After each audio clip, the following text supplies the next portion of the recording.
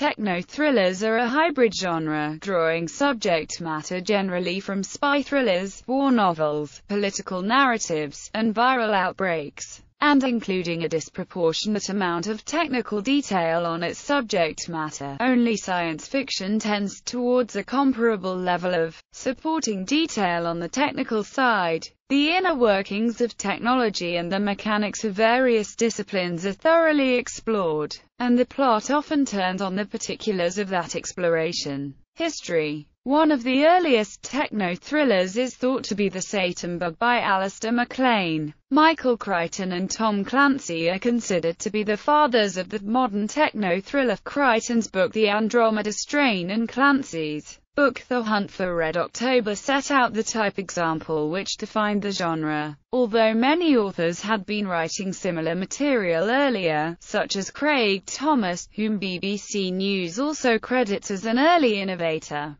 style. Techno-thrillers focus strongly on details, especially on the technology, which is frequently of military origin. Techno-thrillers tend to have a broad scope in the narrative, and can often be regarded as contemporary speculative fiction. World wars are a common topic. Techno-thrillers often overlap, as far as the genre goes, with near-future science fiction, to the extent that technology is now a dominant aspect of modern global culture. Most modern thrillers are techno-thrillers, and the genre is somewhat diffuse. Techno-thrillers blur smoothly into the category of hard science fiction. The defining characteristics of techno-thriller are an emphasis on real-world or plausible near-future technology. There is often a focus on military or military-political action. Techno-thrillers also overlap with conspiracy fiction and apocalyptic fiction.